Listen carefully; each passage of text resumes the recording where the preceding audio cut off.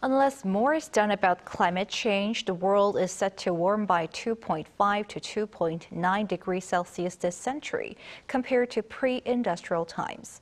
That's according to the latest edition of the United Nations Environmental Programme's Emissions Gap Report, which was published on Monday. This is above the goals of the 2015 Paris Agreement, which aims to keep the temperature rise below 2 degrees Celsius from pre-industrial levels if the 1.5 degrees limit target is to be met.